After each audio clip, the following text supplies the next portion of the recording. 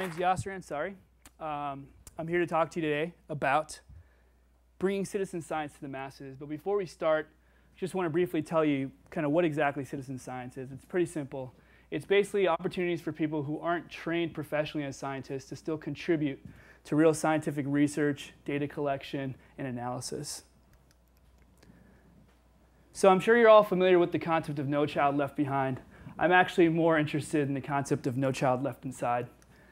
And I'm sure we're all deeply familiar with the concept of attention deficit disorder, especially today with all the different technologies that are competing for our attention. But I'm actually more interested in tackling nature deficit disorder. I really strongly believe that there's an educational need to get kids outside of the classroom and reconnected with nature. And there's an environmental need as well. We all know that ecosystems across the planet are in peril. We don't have to go too far away from our own country to, to realize what's happening. Um, and so this is not new. This is stuff that I've been inspired by the people before me, people like Richard Louv and his Children in Nature Network. I'm kind of following in the footsteps of people that have inspired me. And so how do I propose we tackle these issues? Well, this is how we're doing it. We're leveraging this explosion in citizen science, this rising surge of popularity, and we're, we're coupling it with the latest and greatest mobile and web technologies. So that's kind of where Project Noah comes from. Noah stands for Networked Organisms and Habitats, that's what I'm going to talk about a little bit today.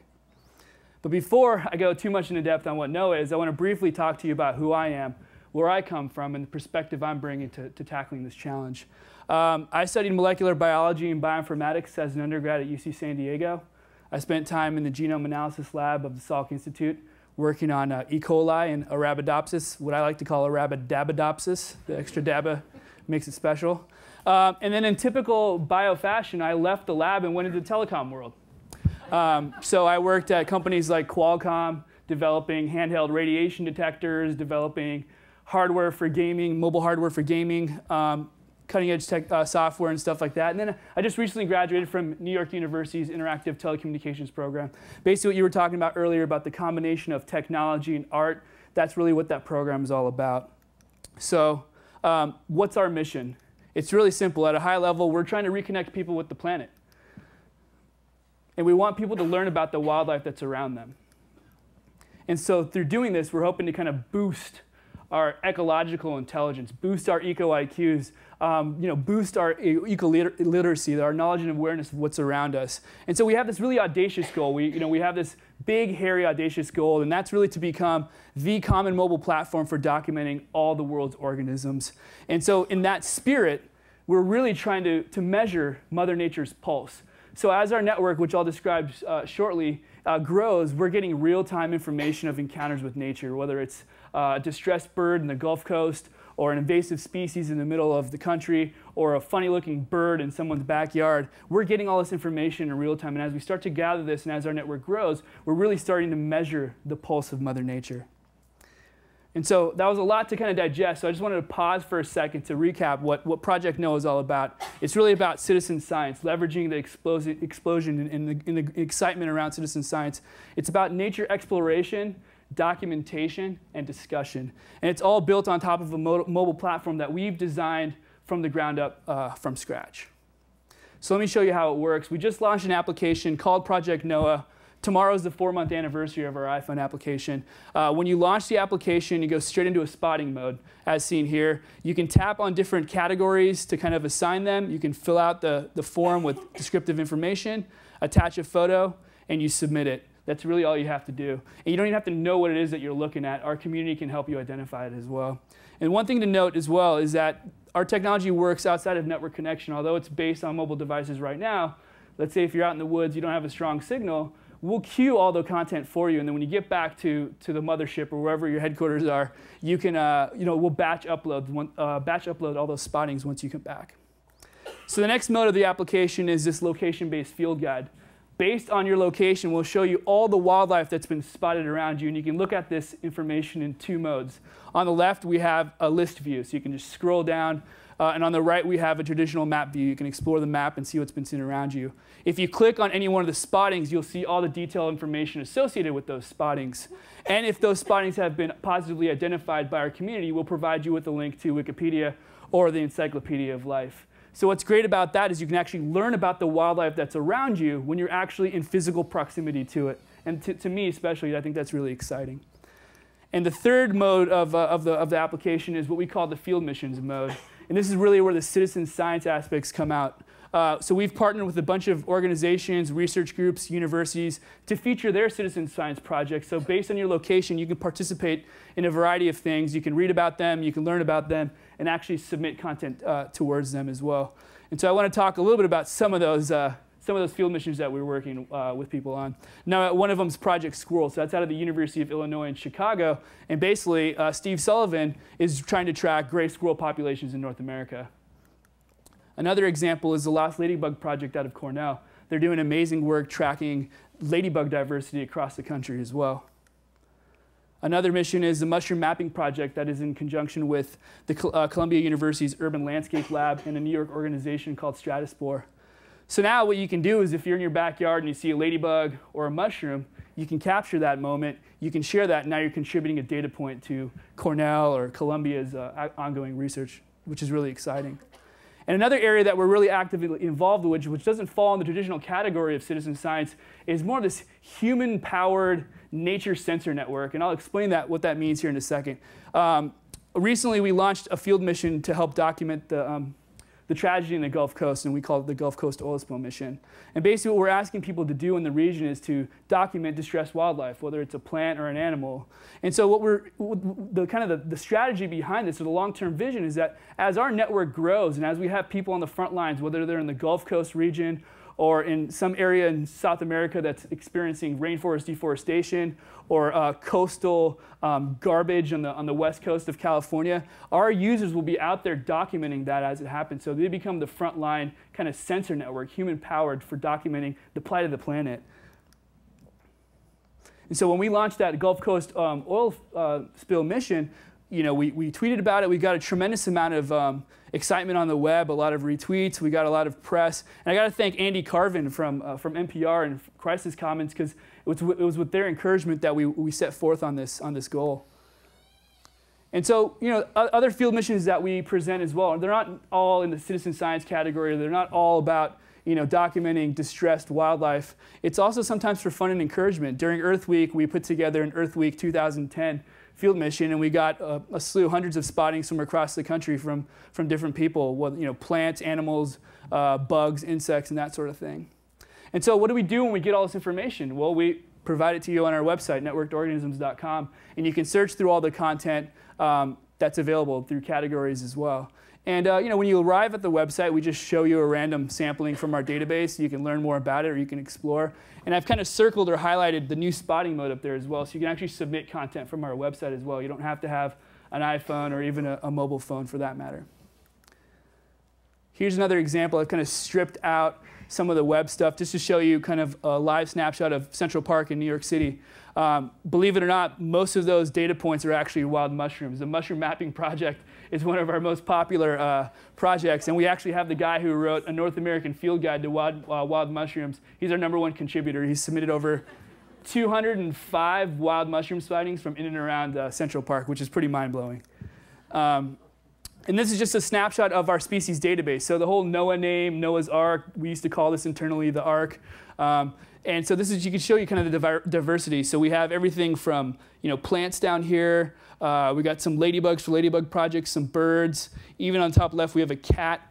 We found out a lot of people like to share photos of their pets. So we had to create a whole, a whole pet, pet category filled with chihuahuas uh, and like iguanas and stuff like that. So you know, we're not going to stop people from sharing it to us. It's, it's, it's wildlife, well, in a sort of sense, uh, native wildlife.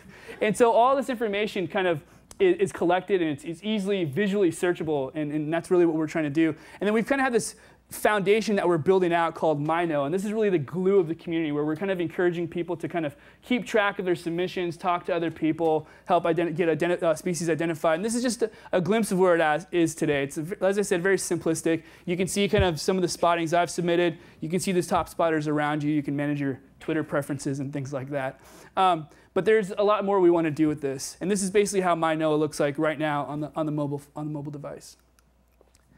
And so just to give you kind of a glimpse of what we're doing, you know, kind of where we want to take this, I'm sure many of you are familiar with applications like uh, location-based services like Foursquare, Gowalla. Basically, they give you rewards and badges and stamps for doing particular things. And so we've kind of entered in this era that I call, you know, it's defined by this battle of the badges. You know, there's all these different services giving you badges to do different things. And you know, some of them want you, you know, if you if you get drunk on a school night, you get the drunk badge, or if you, you know, if you go eat like 50 slices of pizza, you get the pizza badge, and things like that. And so they're all, as we know, inspired by the Boy Scouts merit badge you know, merit badge system. So I'm here today to tell you that we're bringing badges back to nature, and we have a bunch of cool concepts. These actually aren't ours. These are just some existing Boy Scout badges that we're working on to reward people for participating and documenting nature, documenting wildlife, going to zoos, going to botanical gardens, and things like that.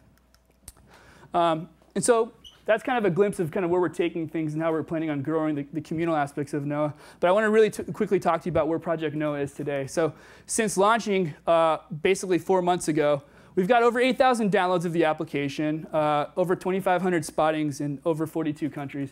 Nothing too mind-blowing, but significant based that we've only been around for four months, and it's all through word of mouth. Uh, and that's just kind of a sampling of our most recent 1,000 spottings. Obviously, North America, uh, which we're, we're based, has the most, but we had an article written about us in Spain, so we've been getting a really uh, great amount of uh, content submitted from Spain as well. So the whole language difference comes into play now as well some spottings in Spanish versus English.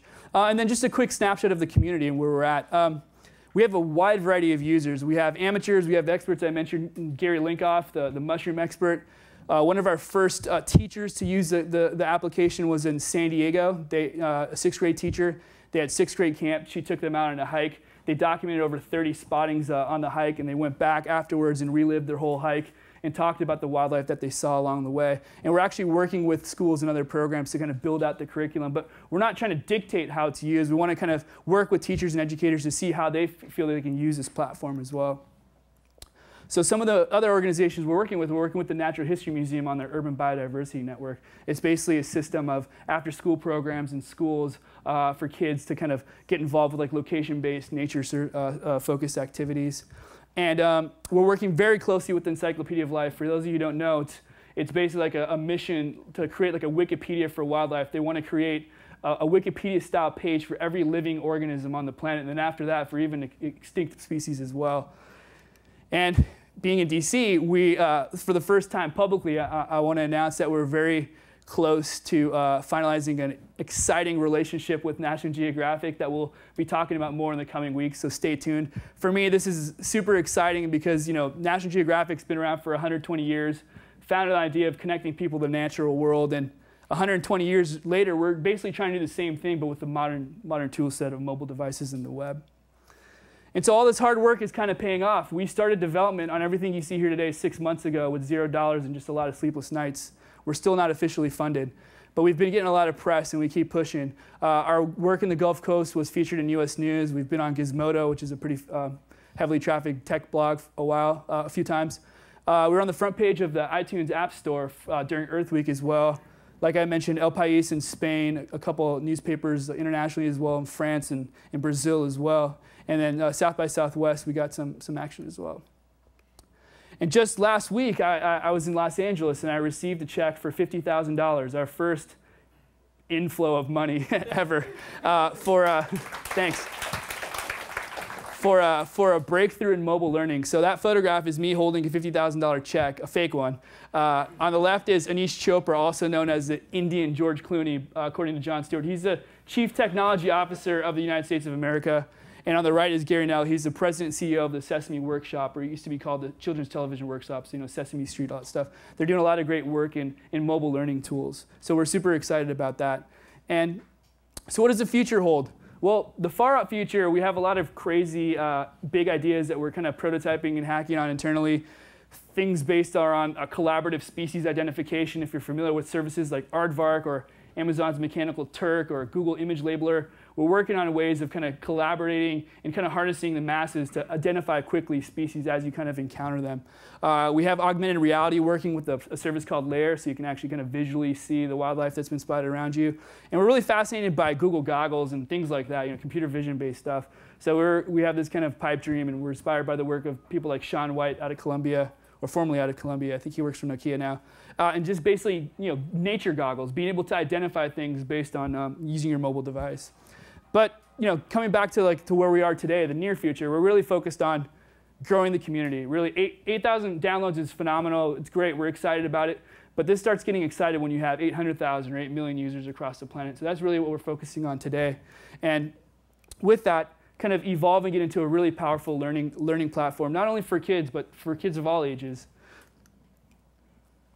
We find ourselves in a really exciting but also a challenging position. We're right smack between uh, experts and amateurs. I call the experts, I kind of signify them by Latin and the amateurs by Latin. Basically, you can tell the experts, they got the genus and species names down, they have super descriptive text, you know, and you know, uh, text on kind of tags on what they're looking at.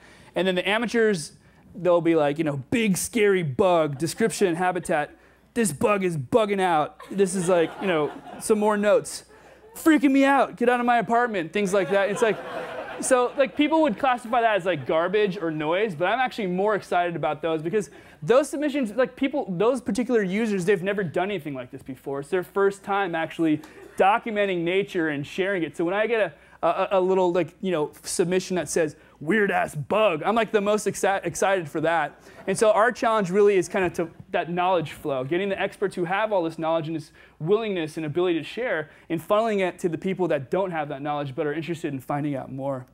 And so, you know, by bringing, you know, citizen science or at least nature-focused citizen science to the mobile masses, our goal is really to, to help people reconnect with the planet at the end of the day, people care about what they know. And if they know more about the wildlife that's around them, they're going to be much more willing to preserve and protect it. And so with that, I just really want to quickly say thanks to a bunch of people that have helped us. Obviously, as you can tell, this is a massively collaborative project. Uh, the rest of my team, Martin, Peter, and Bruno, ITP, which is the grad program I just finished with, Nathan Freitas, and whose class, you know, we actually hatched this idea in his class, the Cooney Center and Sesame folks, Startl, which is an amazing organization in New York helping learning-centered uh, startups get off the ground, the folks at IDEO, Andy Carvin at NPR and Crisis Commons, the Ignite NYC crew, National Geographic, the Natural History Museum, Encyclopedia of Life, and obviously the Pop, PopTech crew for bringing me out here. This has been an amazing, uh, amazing evening, and to curious naturalists everywhere, you and me. So thanks a lot. Check us out on the website if you're interested in what we're doing. If you want to learn more about it, talk to us, collaborate, drop me an email. Thanks.